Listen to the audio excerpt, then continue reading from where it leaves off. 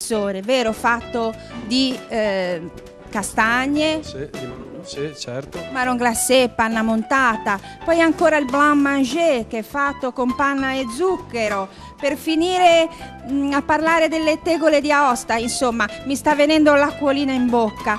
Noi invece vi spieghiamo questa crema. Che caratteristiche ha questo piatto? Diciamo che anche questa è praticamente una preparazione molto semplice, di cucina storica, Cogne, alle, diciamo alle porte del, del parco del Gran Paradiso, paesino sicuramente eh, molto, molto bello e ha la particolarità di aver dato nome a questa preparazione, che è una preparazione semplice a base di latte e panna, eh, anche questo a tuorli d'uova e in, in ultimo l'aggiunta di cacao.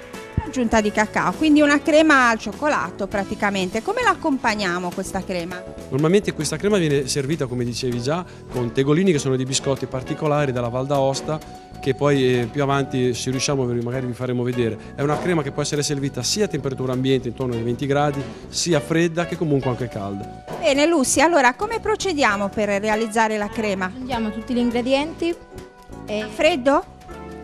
sì, la- dopo la mettiamo sul fuoco e continu- Ecco, allora prima gli ingredienti a freddo e poi mettiamo sul fuoco. dopo togliamo prima che ebollisca e continuiamo a girare affinché si raffredda eh, per il completo. Le uova, professore, sul fuoco o fuori dal fuoco? Le uova le facciamo, eh, portiamola come dicevo prima già per la fonduta, facciamo scaldare eh, in questo caso il latte e la panna, lo portiamo a 60 gradi, poi fuori dal fuoco aggiungiamo i rossi d'uovo, stando attento che non cuocino perché ri- ricordo a tutti quanti che eh, rapprende a intorno ai 60 gradi, dunque se siamo oltre i 60 gradi c'è il problema di formare dei grumi.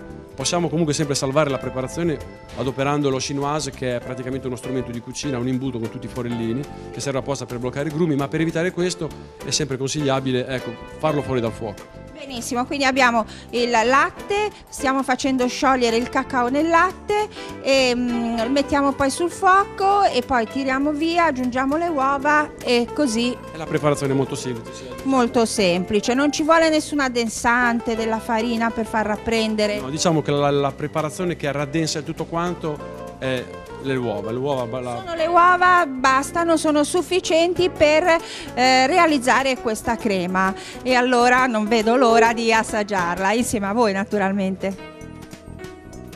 E adesso facciamo pochi chilometri e ci trasferiamo in Piemonte con Simone. Sì, allora il Piemonte è una regione dell'Italia nord-occidentale che ha come capoluogo di regione Torino. Il territorio piemontese è prevalentemente montuoso ed è eh, caratterizzato da, eh, da essere chiuso su tre lati dalle Alpi e dagli Appennini. Il Piemonte prende questo nome dal latino pedemontium che vuol dire appunto ai piedi del monte. Il turismo in Piemonte è prevalentemente quello invernale eh, con le località sciistiche Sestriere. La cucina piemontese come si caratterizza?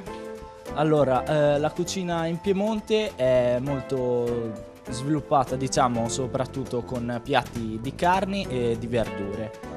Eh, I piatti di verdure sono principalmente la mm, bagna cauda, che è un piatto che si è sviluppato fin dal Medioevo, poiché è caratterizzato da essere eh, formato da ehm, alimenti poveri e facilmente reperibili. Benissimo, e allora diciamo anche i nomi degli altri ragazzi che si sono dedicati eh, particolarmente alla cucina piemontese. Ti chiami? D'amico Chiara. E tu che cosa hai preparato? Eh, gnocchi di patate alla piemontese. Gnocchi di patate, che bontà. Tu? Eladi Minordin e ho preparato il brasato al barolo. Brasato al barolo, proprio un piatto veramente tradizionale. E tu? Valentina. Il bonetto al cioccolato che è un dolce. Bonnet al cioccolato. E allora non perdiamo tempo, andiamo subito a vedere come si preparano questi piatti. La bagna cauda, un piatto che accomuna la mm, regione Piemonte alla Liguria. Infatti c'è un ingrediente che i piemontesi prendono da noi.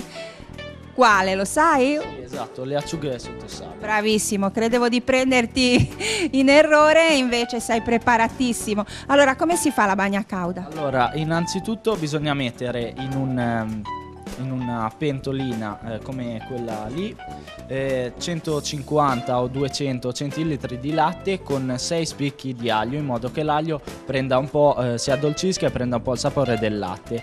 In un'altra pentola, ehm, se volete anche eh, un'altra simile a quella, possiamo mettere le acciughe insieme all'olio e farle sciogliere. Alla fine, poi, ehm, dopo che i due composti saranno pronti e dopo aver tagliato e lavato delle verdure miste, quelle che volete, dovremo, dovremo mettere le, le acciughe pronte e l'aglio insieme alle verdure, e, no, insieme a della panna in un mixer, cin- 500 centilitri di panna in un mixer e verrà questo ehm, Composto. composto qua. E poi eh, potrete inzupparvi le varie verdure. A vostra Ecco, è caldo il preparato o no? Eh, il preparato deve essere servito bollente addirittura Addirittura bollente. Sì, eh, per esaltare appunto il sapore. Qui il pane non c'entra. No, in questo caso il pane no, questa diciamo che è una preparazione anche abbastanza diciamo in percentuale dietetica perché di calorico abbiamo solamente la panna, la maggior parte è composta di verdure,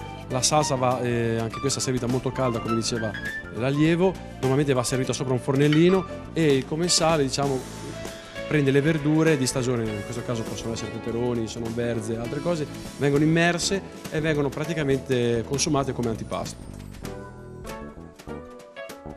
Con il copapasta, che è questo utensile rotondo, il professore sta effettuando la mise en place degli gnocchi, ma io mi sposto perché voglio parlare con questa ragazza che ha una sorella gemella, quindi non è sempre lei che poi spiega anche il piatto successivo, ma sarà sua sorella. Ripetiamo il tuo nome? Eh, d'amico Chiara. Chiara. Allora, Chiara, vediamo come abbiamo realizzato gli gnocchi, che ingredienti ci vogliono nell'esecuzione. Allora, eh, patate, farina, eh, burro e mm, eh, parmigiano. Sei in grado di dirmi anche le proporzioni oppure lo chiediamo al professore? No, ma l'allieva Lo sa. Sì, allora un chilo di patate, 150 grammi di farina, eh, t- eh, 130 di burro e mm, 50 di parmigiano. E 50 grammi di parmigiano. Professore, per evitare che gli gnocchi si disfino, intanto ci vuole un tipo particolare di patate? Ci sono delle patate particolari, sì, che vengono utilizzate, che hanno, diciamo, reggono di più la cottura, ma eh, la nostra amico si è dimenticata che può essere aggiunto addirittura nell'impasto anche un tuorlo d'uovo per rendere diciamo, l'impasto. Quindi non di più, un tuorlo al massimo, benissimo. Allora sappiamo tutti eh, come si fa poi ad ottenere gli gnocchetti, si fanno con le mani. Stendono e si tagliano e mm, si, met- si condiscono. Ecco, come vengono conditi? Allora, alla piemontese abbiamo messo burro e mm, parmigiano. Burro e parmigiano e mm, buon appetito anche con gli gnocchi.